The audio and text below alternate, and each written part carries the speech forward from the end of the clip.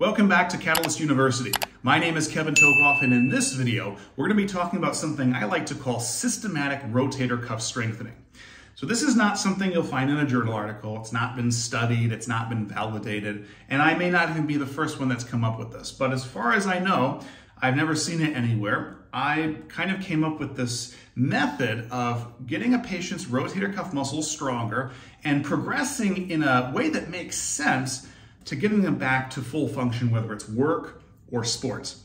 Generally speaking, in work and sports, what's the most difficult position for people to work in when they've got a rotator cuff issue? It's when the arm is elevated. And of course, there might be some people it's more crossbody or out like this, but for most people, it's doing things when the arm is elevated. When we test rotator cuff strength, where do we do it typically? Well, the standard position is arm right at the side. You got internal rotation here, external rotation here. Let me ask you a question. This standard position for checking internal and external rotation strength, does it tell us everything and is it sufficient? And the answer to both of those is no. It doesn't tell us everything and it's not sufficient. And just strengthening in this position is also not sufficient. Ultimately, we might have a patient who has good strength here for both those muscle groups compared to their unaffected side, but yet when we have them do things overhead, there's still pain and there's still weakness. So I'm going to have eventually another video where we talk about checking rotator strength in other positions like 90 degrees of flexion, 90 degrees of abduction. And we're actually going to talk about strengthening in those positions. And going from this position to here and then to here and then ultimately getting back to work function, sport function. This is what I've come to call systematic rotator cuff strengthening. And it's sort of a protocol, sort of not a protocol, but I've followed this many times in the clinic and it seems to work really well. Now understand that here we're only talking about the rotator cuff muscles. Of course, in a full plan of care, you're going to be looking at the scapular muscles, you're going to be addressing weaknesses in other pertinent muscle groups, motor control deficits, et etc., etc. Okay? This is just focusing on the rotator cuff muscles. What I'm about to show you on this slide is a flow chart for how somebody generally progresses through this systematic rotator cuff strengthening. I want to get to some slides where I can show you some video clips of exactly how the positions look, how the exercises work, uh, so I won't spend too much time here. So let's get right to it. So the first position, this is the standard position for internal and external rotation. It's the test position for MMTs, for strength. It's how most people strengthen these muscles, and it's in some cases where people generally stay. So it's this internal and external rotation by the side. I'm terming this level one. And obviously, if the arm's by the side, it's pretty much zero degrees of shoulder flexion, zero degrees of abduction, okay?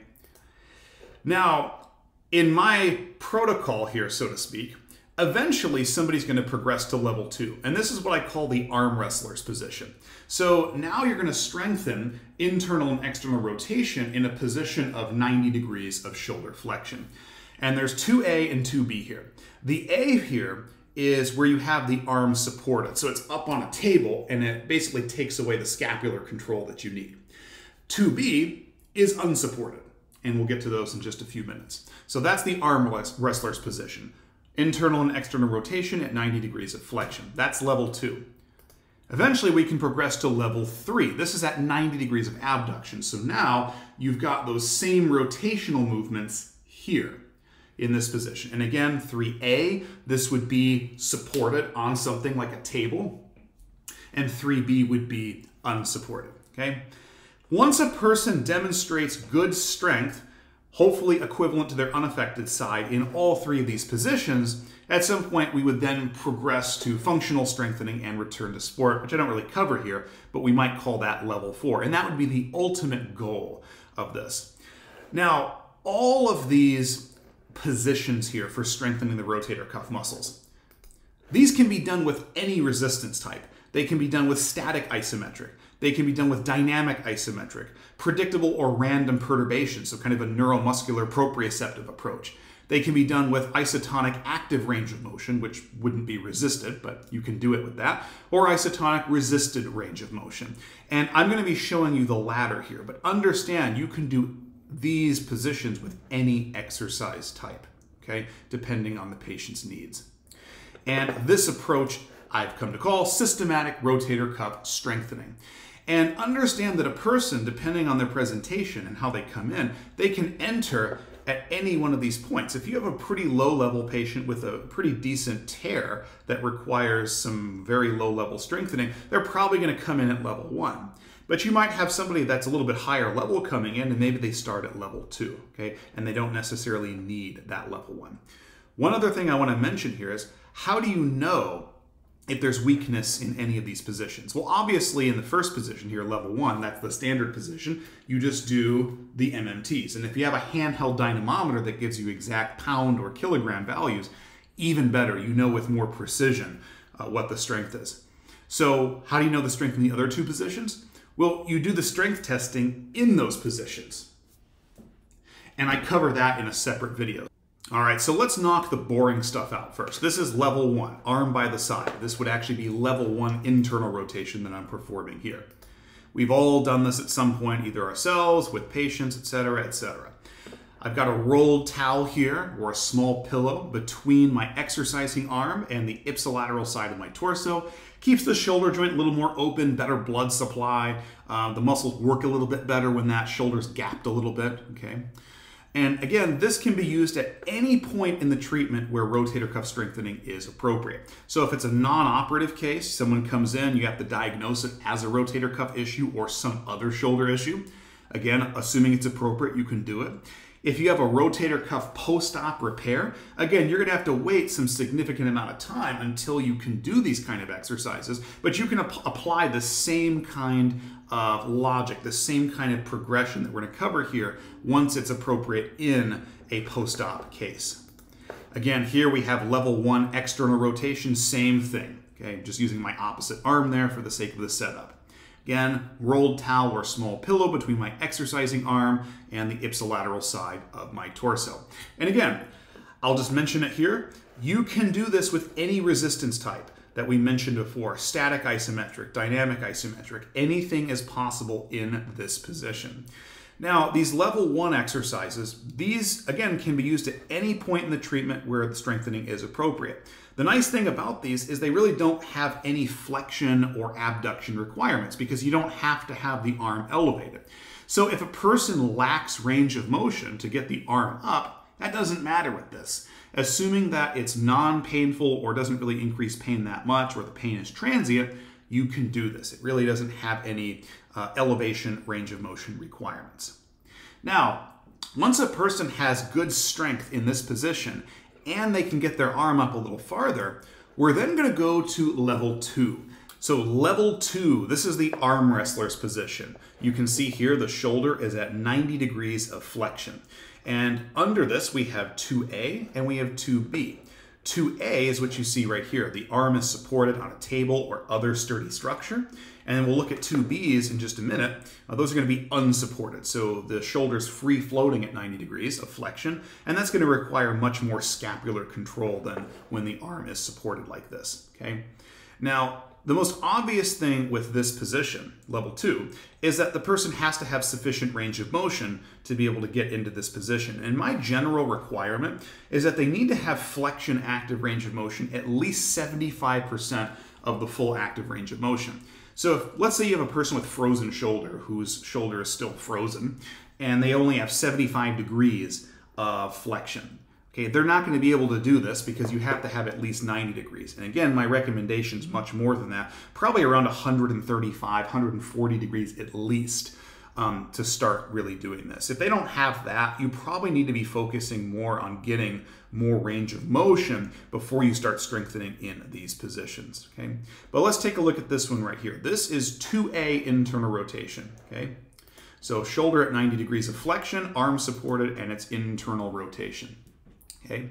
You can see the anchor point is higher uh, than the surface or really higher than my humerus. And that's gonna give a better um, angle of resistance so they get more resistance throughout the range of motion, okay? So that's 2A internal rotation. We also have 2A external rotation. So for this one, I like to have the anchor point or the resistance point um, about the same level of the humerus or even a little bit lower, okay?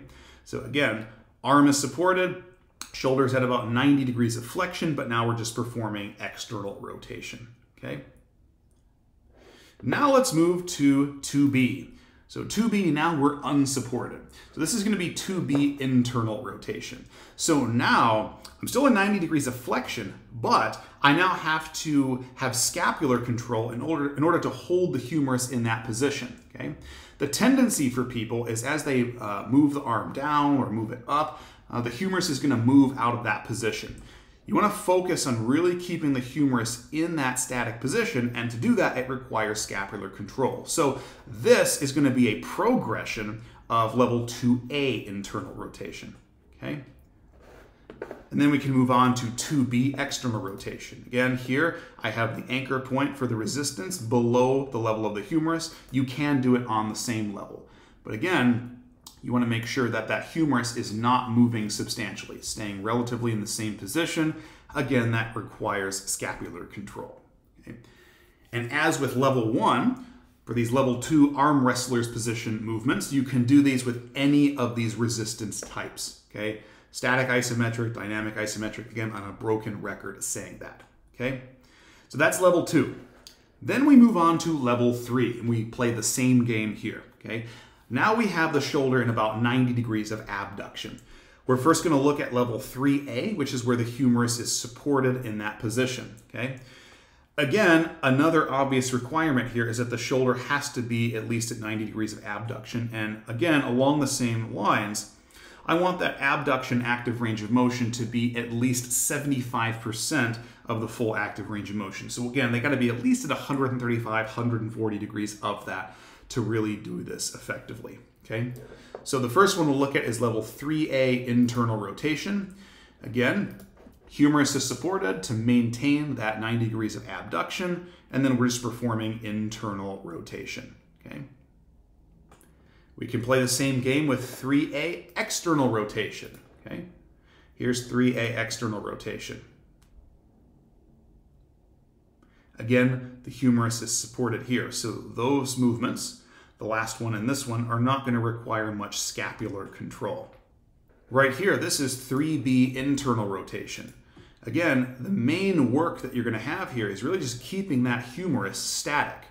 The tendency is for it to actually move a little bit forward, to translate anteriorly, kind of going into a little bit of horizontal adduction, and it requires scapular control to maintain this position. We can play the same game with level 3B external rotation. Here's that.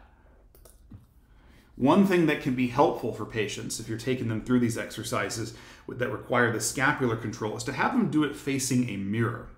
Um, there's actually a mirror in front of me over on this side, and I can use that to kind of tell if my humerus is coming too far forward. Again, requires a significant amount of scapular control here. So these B progressions, these unsupported progressions are just that. They're progressions. They're harder versions of the supported versions of the exercises. And at any point throughout this rehab process where you're doing these strengthening progressions, you can recheck strength. And of course, the goal would be to have sufficient strength and really equivalent strength to their unaffected side in every one of these positions in 90 degrees of abduction, in 90 degrees of shoulder flexion, and of course in the regular test position, arm by the side. And so generally speaking, when I have my objective measurements, I actually have three internal rotation strength measurements and three external rotation strength measurements. And I track that progress. And once all three are pretty much equivalent to the unaffected side, that's the point where I say, all right, let's start really getting after return to sport, or let's really start getting after return to function, work, whatever it might be. And realistically, as you're going throughout the rehab process for the arm wrestler's position level two and uh, 90 degrees of abduction level three, you might be starting to incorporate a little bit of return to work, a little bit of return to sport type of functions. But once you get that strength equivalent, there's really no need to do this direct rotator cuff strengthening anymore. You can go really just and focus on conditioning, return to work, return to sport, etc. Okay, and that would be level four strengthening. So hopefully this video gave you some good ideas for taking a patient through rotator cuff strengthening progressions and ultimately getting them back to work, back to sport, whatever it might be. Thanks for watching this video. Make sure to like this video, subscribe to my channel, and hit that notification button for notifications for all videos in the future. Thank you very much.